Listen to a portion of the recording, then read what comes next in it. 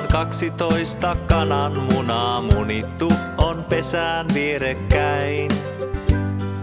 Hämärässä aamun kajon isäntä taas saapuu talon, ottaa kuusi poistuu viheltäin.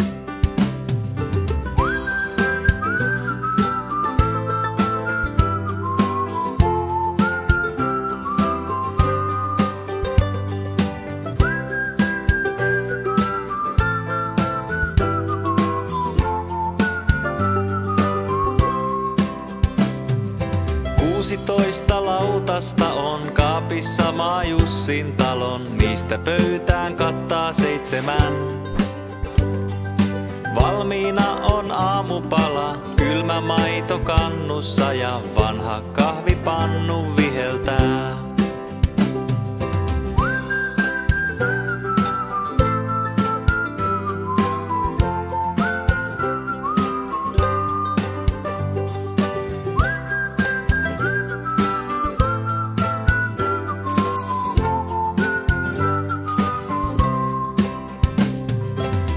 Kattila on täysinäinen, isäntäkin tyytyväinen, kaikki saavat puurolautasen.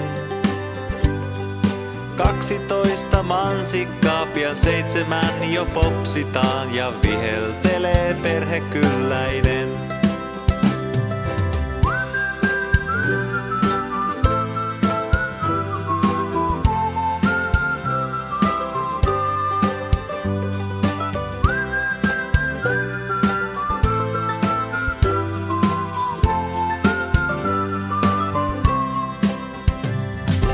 Kaksi kahvikuppia ja seitsemän siis lautasta ja maitolasit tiskattava on.